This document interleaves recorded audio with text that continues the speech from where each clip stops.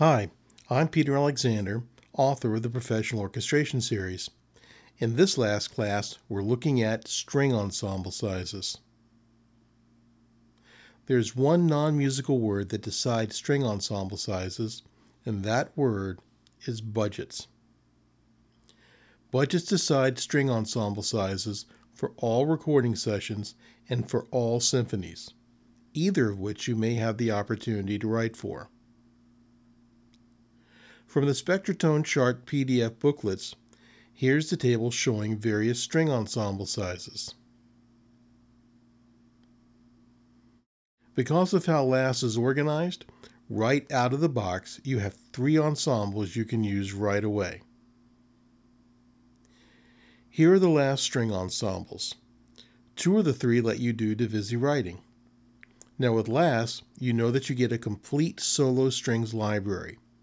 But when you're doing orchestral writing, solos most often go to the first chair violinist, or the first chair violist, or the first chair cellist. You can do this in LASS too, which is why I have them colored in red. You also have the MIDI mockup option of layering the solo instruments on top of the ensembles.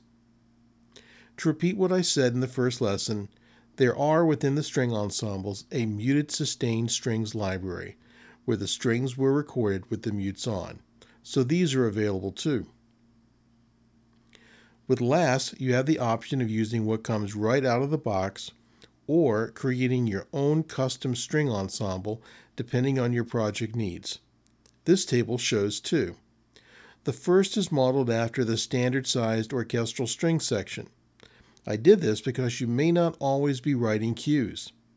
Writing for the mythical symphony orchestra and its unlimited strings? Well, that's a surefire way to get in trouble after your parts hit the stands. So when you're writing a piece and you're not really sure what the size of the string ensemble is playing your score, try recreating this ensemble. The next one is modeled after Aaron Copland's original version of Ballet for Martha, which was later retitled Appalachian Spring. The original Ballet for Martha has a double string quartet and a solo bass. You can recreate that with LASS, or, if you have the resources, you can blend LASS with a second solo strings library to create the inner parts. In case you weren't aware, Aaron Copland wrote a larger orchestral concert version of Appalachian Spring, so I put together an Appalachian Spring study package where you can compare the larger to the smaller version. Now, having gone through these LASS string ensembles, I know that some will be asking, why? So what? What's the big deal?